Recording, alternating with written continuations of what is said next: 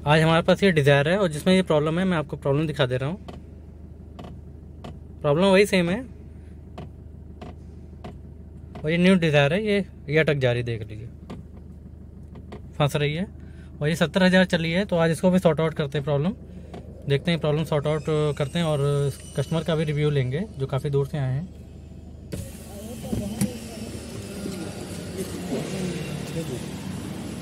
ये new desire है।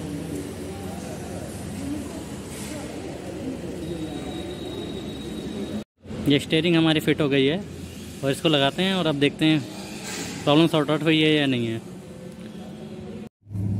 जैसे कि हमारी ये स्टेयरिंग कॉलम रिपेयर हो गई है और इसमें कोई नॉइज़ भी नहीं है अब। नॉइज़ मैं आपको सुना देता हूँ जैसी थी इसकी।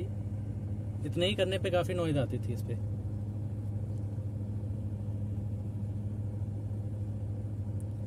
चिपकती थी, फंसती थी स्टेयरिंग अभी बिल्कुल नहीं है।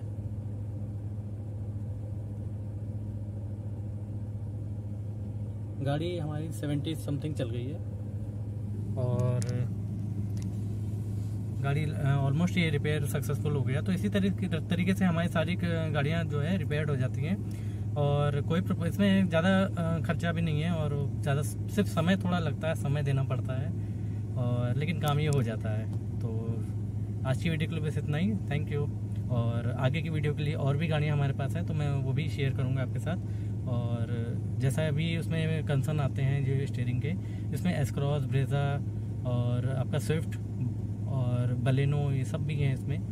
तो ये सब भी रिपेयर्ड हो जाती हैं। तो अगर किसी कोई कांटेक्ट करना हो तो मेरा व्हाट्सअप में डिस्क्रिप्शन में मेरा व्हाट्सअप नंबर है, उससे आप कांटेक्ट कर सकते हैं। ठीक है? तो आज की वीडियो के लिए बस इतना ही। थैंक यू और रिव्यू के लिए मैं बात कर लेता हूँ। तुम बताओ। बहुत अच्छा एक्सपीरियंस रहा। सर का हमारे।